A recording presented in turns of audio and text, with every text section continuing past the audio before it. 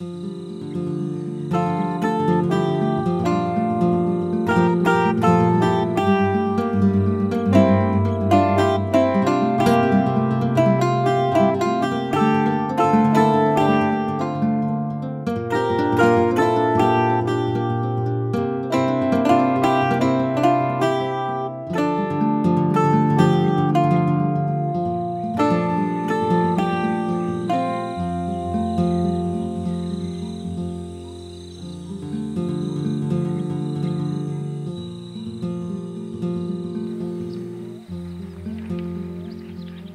A comunidade do Gesto Meio, a comunidade que começou com 14 famílias, hoje tem 71.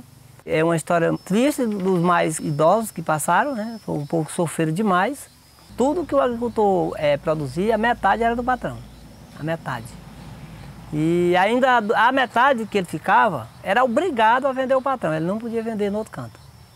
Então isso era uma coisa muito ruim. Imagina eu produzir tudo que eu produzi passar a metade para o patrão e o resto até que vender o patrão pelo preço que ele determinava, né? Sempre ouvi a mãe, o vô, o pai sempre contando das histórias antigas, né, deles, do sofrimento que eles tinham para cuidar dos filhos. Não tinha um açude, não tinha um cacimbão, não tinha nada. Tanto que na comunidade tem vários nomes. E aqui onde, nós, onde eu moro é chamado de Cacimba da Pedra, porque esses moradores que eu falei, eles tiravam água de uma cacimba para beber e cozinhar. Essa cacimba era para toda a família. Eu acho que a mudança que teve para a gente aqui, quando a gente começou a trabalhar a agroecologia, é, foi um, uma, uma, era coisa nova, né? Porque as pessoas já eram acostumadas a usar o agrotóxico. O João era um dos usuários. Eu sempre dizia, mas a gente não tinha aquela experiência de, né, de mostrar, de dialogar, porque quando a gente conhece é diferente em 16 anos de já viu a mudança muito grande, a gente já conta com essa diferença, mas também ainda tem aqueles pessoas que são doentes, que conviveram a vida inteira usando agrotóxico. Mas a gente sabe que é por conta disso, mas a pessoa às vezes nem entende, né? Nós temos um selo conhecido como selo orgânico, mas para nós é agroecológico. O agroecológico vai além do orgânico, né? O orgânico é, eu posso plantar um campo de milho ali, tudo sem veneno e ser orgânico. Né? O diferente da agroecologia, que é agroecológico, é de que a gente tem uma diversidade de cultura aí, tudo junta, e o tratamento da terra, né? o cuidado que a gente tem com a terra. E a convivência que a gente tem ainda com as famílias, que a gente diz que a agroecologia, ela começa da família, a base é dentro de casa. São é algodão aroeira. Então aqui é fava. A gente tenta produzir de um tudo, a gente planta tudo consorciado. Se um der pouco, o outro dá mais, e no final das contas tudo vira muito, né? Planta o milho, o feijão, o arroz, o, o gergelim, é, o amendoim, a batata doce. É, são tantas coisas que a gente nem lembra, né? Mas aqui a gente planta de tudo. E a gente tenta é, se alimentar de tudo que a gente tem. Até porque a gente pega lá fora, a gente não sabe a qualidade que vem esses alimentos. Então a gente tenta buscar o mínimo lá fora. Antes a gente só produzia quase só milho e feijão. A agricultura hoje faz parte da segurança alimentar, temos que produzir de tudo. Então isso afetou quase no geral.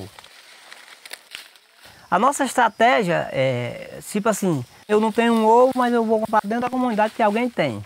A gente faz esse rodízio de que alguém tem então, a cada um contar na comunidade para que o dinheiro circule aqui dentro e também a alimentação circule aqui dentro. Só vende o, o que sobra da alimentação mesmo. Não vai tirar do que é para alimentação para levar para uma feira, né?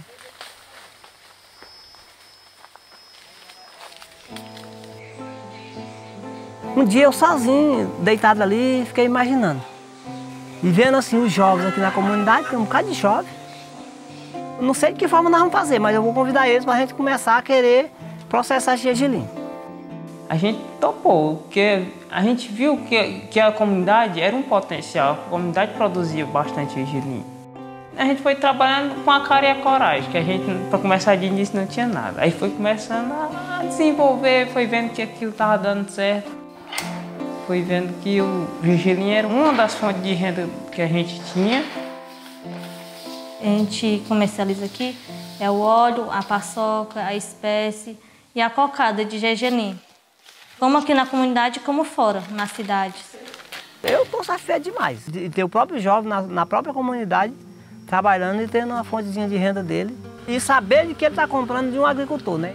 Quando chegar em dezembro, a gente já chama os agricultores que estão interessados a plantar, já faz uma reunião com eles, já determina o valor, eles quando vão produzir já sabem qual é o preço que vão vender. Isso é uma coisa para nós riquíssima.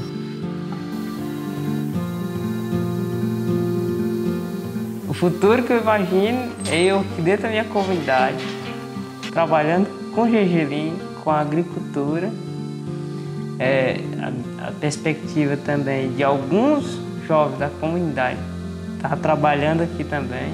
Eu tendo o que eu comer suficiente, tendo minha família unida dentro de casa, tranquila, eu não preciso de vida melhor que essa daí, do jeito nenhum. Então, o meu, eu digo que sonho alto, mas essa, a minha altura é essa.